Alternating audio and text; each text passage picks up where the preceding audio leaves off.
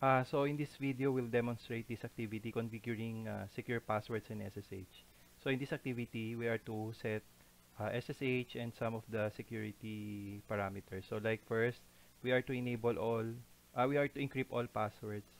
So by typing service password encryption, so we go here to the console terminal and then enter. So enable conf t and then again first requirement is to type service password encryption okay I'll move this around okay and then I need the activity. Uh, and then here we set minimum characters of 10 so in here uh, when uh, when the admin would set password so it will uh, the iOS will set a minimum requirement of 10 characters in the password. So for that to happen we set the security password minimum length into 10 okay? Uh, next is the SSH part okay? So in the SSH we uh, need to first set a domain name uh, ccna.com example a company doesn't have domain name you just set any okay? Just set any uh, example ayan cisco.com uh, it's a requirement to set this up. If you don't set the domain name it, uh, SSH will not work Okay. Again, SSH is for remote access, just like Telnet. Comparing SSH to Telnet, SSH is more secured. So setting up SSH starts with setting up domain name. And then next, we need to set up a username password. Say username, admin, and then password. Okay. Cisco, for example.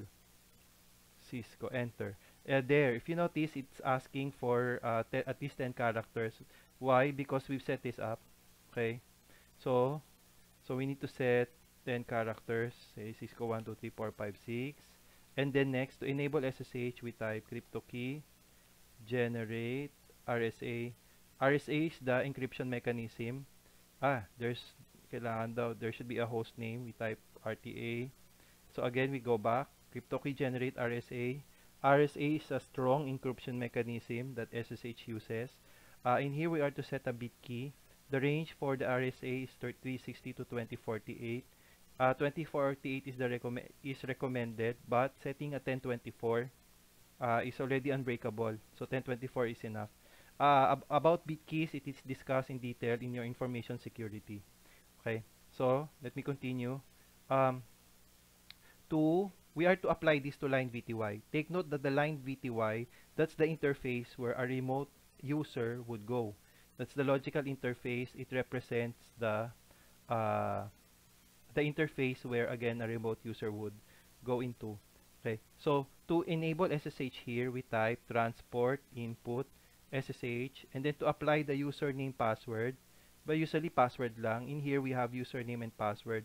For usernames and password to be applied in the line VTY, we type login local and enter. Okay?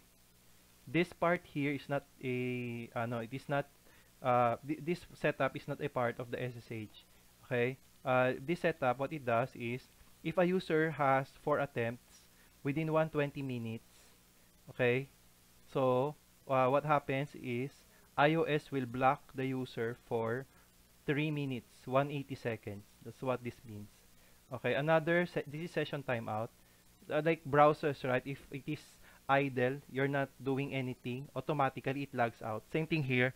If let's say for 6 minutes, uh, let's say a user SSH this device, okay, access this device remotely and it's not doing anything for 6 minutes, what the iOS will do is to automatically log out. This is to this is a protection from ano, shoulder surfing, okay, a tailgating sort of stuff. It will be discussed in your uh, information security. To uh, uh, next, I think uh, IP addresses are not set here. Let's check. Do show run it doesn't have any IP yet, so we need to set this up. We go to the interface, G0, and then we set up the IP ad, 172.16.11.255.255.255.0, and no shot. Okay, so, and then we go back to the IP config here. We set up IP ad in our PC, and the requirement is 1.10 uh, with the subnet mask of 3255s and the gateway is 172.16.1.1 so before we SSH we first check uh, the uh, config and we first check if we can connect on the router and there okay?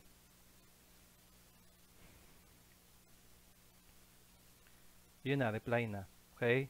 So now the command to SSH is SSH minus L minus L then the username and then the IP add of the device which is 172.16.1.1 okay? It asks for the password and our password is Cisco123456 and there okay? We've accessed already RTA okay?